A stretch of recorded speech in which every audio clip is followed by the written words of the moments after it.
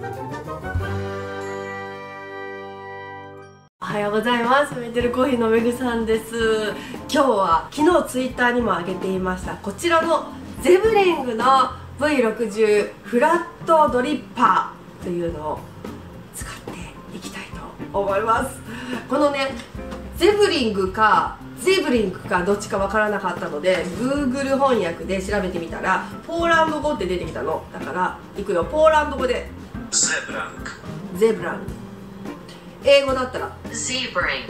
ゼブリングえゼブラングとゼブリングとどっちが違う？でもえ英語なのか Zebring. な？ゼブリンゼブランクグゼブラングあゼブリングになりそうだな。まあいいやゼブリングでいこう。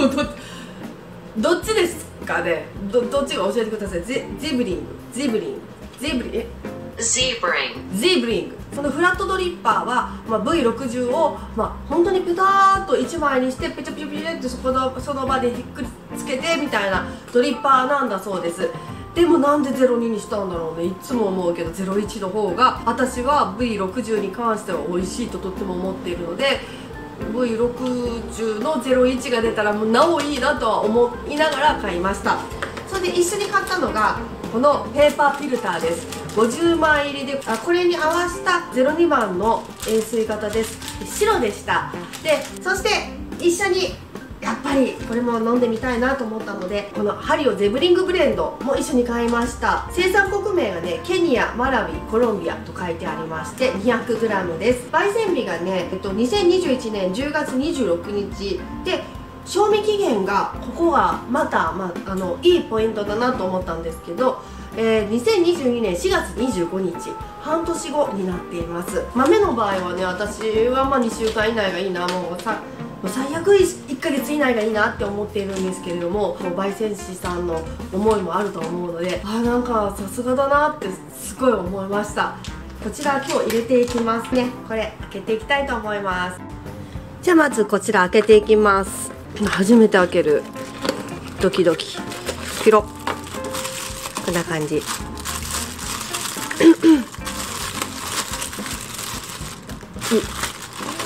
あこれはねあれみたい。あのー、なんだっけ？あれ。あーこんな感じなんだ。なんか入れ方の紙。ああるな。こちら3つ入っていました。おー。おー。おしゃれねこれ。ここに入れていくんだね。あのこれはあれよこれみたいな感じ。だからボタンを全部閉じてホルダーに差し込んでえあ三角矢印付きボタンをここ三角の矢印がね1個だけついてるの。ほらこれこれこれ他はついてないのにこれだけついているのでこれをホルダーの下に回転させる。あーそれで安心だよってことだね。じゃあこれでまず洗っていきますね。えー、でね針あ珍しい。私針をこれだけかと思いきやちゃんとありますね。こうお湯の温度。特にないのかな？一応ね90度と85度とお湯を用意してるんですけどあ針をだし、まあ、90度で入れていきましょう。まずそれでやっていくためにこれ洗ってきます。これ洗いやすいしいいとっても。じゃこれをこう、まあ、拭いて。ペッペッペッと拭いてこっちもペッペッと拭いてペッと拭きました。でまずはこの穴にこっちの穴にピピッとこう入れていきます。うん簡単。このほら私指が痛いからちょっとしたものでも敏感に反応するんですけどこれ全然痛くないです。洗う時も溝でね結構流血するの。それもなかった。あちゃんとね手袋してても流血するんですよ。あこちらホルダーにまずこの向きでしてそしてこれをここにピッあそのためのこっち向き？ほら。ほらほらほらほら。こっちだよ。っていう向きがちゃんと書いてある。あら優しい。ちょっといいこのこのポッチ。これがこのポッチがきちっとこう置きさえすればほらピッピッとこう引っかかる。これはねどのドリッパーもあの簡単にしたいなと思ってるドリッパー真似された方がいいと思います。引っかかってくれるのはとても嬉しいです、まあ、これ使われる方はね慣れてる方だと思うんですけれどもこれいいですね。ドリッパーとホルダーが水平になるなってるよ。あなってるけどすぐにこう外れるから気をつけてください。私みたいに雑な人間は特に気をつけてください。コーヒーの粉。中引きで1杯 12g が目安目安とかでもない。12g って書いてある。おおオッケーじゃあ準備するわ。じゃあ豆開けていきます。あーいい香り。なんか見えます。なあいい感じのほら。なんかほらわかるかな？見てあこれ絶対美味しいやつやんっていう。豆ちょっと期待大。24g いこう。これを中引きしていきます。なんかすっごいね香りも。あのー私が好きそうな感じ。え高温で入れた方がいいのかなこれ。微妙なんだけどでも外で入れるんだよね。沸騰したお湯を移して入れるっていうのを考えたら90度から始めたいところなので90度から始めます。でペーパーの感じなんですが結構しっかりしています。内側がつるっとした加工のもの。この V60 のと薄いほら薄い気がする。こっちがジブリング。こっちがいつもの V60 の袋の方。ほら薄さがなんか薄い気がします。じゃあこれに入れていきますね。大丈夫かな？すごいね。気になってるのがちょっと傾けるとポロッと落ちちゃうところは気になっています。何 cc いこうかな？240とかの方がいいかな？あこれじゃ分かんないんだ。こっちにしよう。大きい方じゃなくて。こっちにしようか。250でいきましょうか。下のサーバーなんですけど本当は真空マグを準備されているのよ。でも私は真空マグの音がダメなのでせっかくだから針を出しこここっちにしてみようか。このこのこのダブルウォールで。ダブルウォールを温めてから、えー、普通に入れていきましょうか。じゃあそうします。残りのお湯を3回に分けて。1人用なのに V60 の02番するんだろう。入れていきます。真ん中？123残りのお湯を3回ね。240まで入れるから260まで入れきよう。マグカップとかだったらどの辺ぐらいまでっていうのが分かりやすいと思うんですけど私これにしてるので一応スケール使っています。いきます。3回ね。ちょっと多めに入れていくってことだよね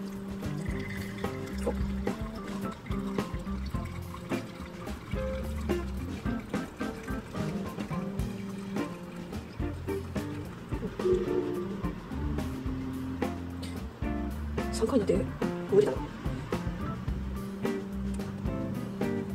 いけたいけた。いけました、うん、いい感じ。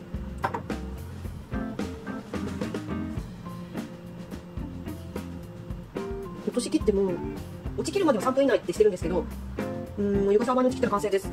でも私この辺で撮ります。一回。はい。撮りよ。いい感じ。なんだろう。なんか全てがかっこよかった。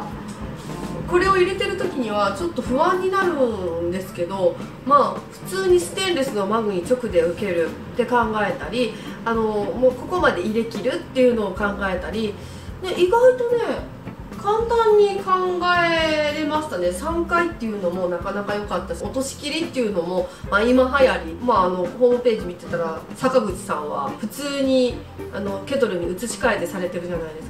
そう今ねあのなんでメグさんあれ出してこないのって思うでしょ？あのハリオのケトル。これせっかく侍さんからもらったのに出してこないのって思うでしょ？今ね出張中なのあれ。使ってみたいって方にお貸し出しをしているところなんです。これのセットでは買わなかったんですけど。じゃあこちらのダブルウォールマグでいただきます。入れてる時はペーパーの香りはしたんですけどペーパーが薄い分すごいなんかいい感じがしてました。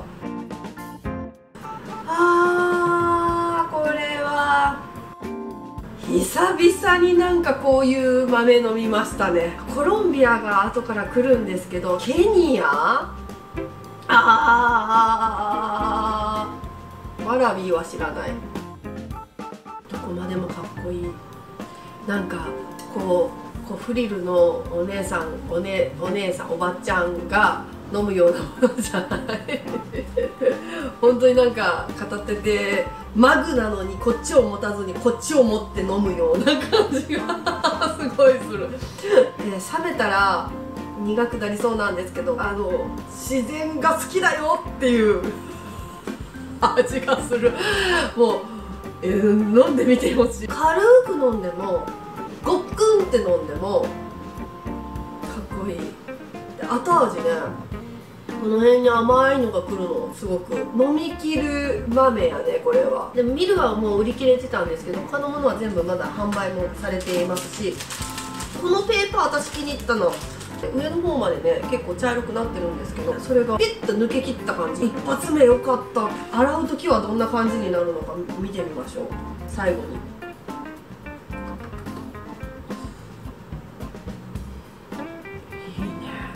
でなんで袋作らなかったんだろうね。袋も作ったらよかったのね。黒の。V60 の02番。私はすごく苦手なコーヒーのドリッパーの一つなんです。このドリッパーの02番はとてもいい感じがしました。長期出張とか。まあ自衛隊さんだったら長期出向とかぜひおすすめしようと思います。またその戻ってきたらねこのケトルとかがもう一回やりたいんですけどそうやんお湯の量が測れるから落としきりでいいんだ。なるほど。やっと分かった。そういうことだ。全部買ったらよかったって。今思いますね。ちょっと残念かな。自分に。それぐらい良かった。ああよう考えられてるわ。アウトドアもしないんですけどこれは02番だけど本当にいいドリッパーだと思いました。まあ別にねこれ折りたためることがいいと思わない方には別にいらないと思うんですけど全てがかっこよかったです。ってことで今日この辺で。じゃあねバイバイ。ああなるほど。もうやっと分かった。あそういうことね。書いといたらいいのにね。もうせっかくだったらセットのこと書いとけばいいのに。この細口ケトルの絵とか書かずにあっちの絵を描いてもうそれでやったらこっちで測ったらいいよとかそういうのが分かるからもうセットの方がいいよみたいなのがあったら買ってない人でももう一回買い直すかも。もう絶対いいと思う。